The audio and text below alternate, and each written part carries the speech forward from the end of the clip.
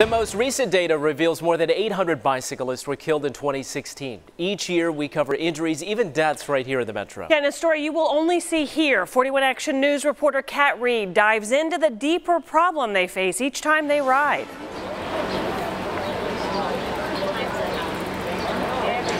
Well, here in Brookside, the Ride of Silence is about to get underway. Every year it honors those killed while riding their bikes, but we found out what's being done to prevent more deaths here in the metro.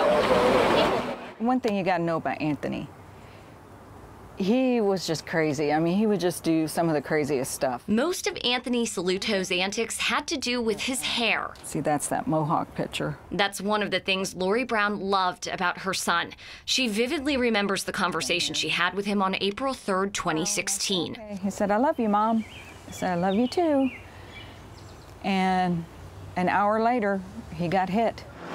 A man driving under the influence veered across lanes of traffic on Independence Avenue, hitting and killing 32-year-old Anthony Saluto. Sometimes in the wake of tragedies, we, we realize that we have to do things differently. And Eric Bunch is the policy director for advocacy group Bike Walk KC.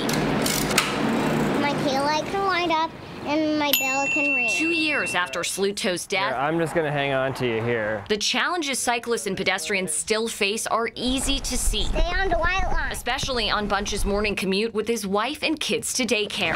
Come on, Liam. It can feel a bit of a harrowing experience trying to cross 39th, unfortunately. Go ahead and go. But change is already in motion. Over the next six months, there's going to be just a, a deluge of, of, new bike facilities coming in.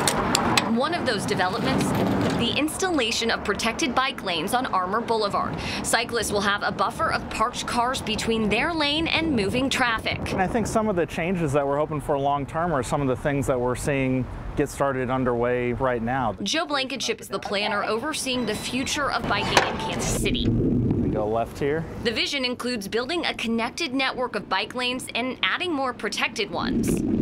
It's a safe street to bike on and it's a low stress facility to bike on. Drivers will feel less stressed too. The new bike plan will be ready in the next couple months. Oh, this was at my son Johnny's wedding. The driver who hit Anthony Saluto was charged with involuntary manslaughter and leaving the scene of an accident.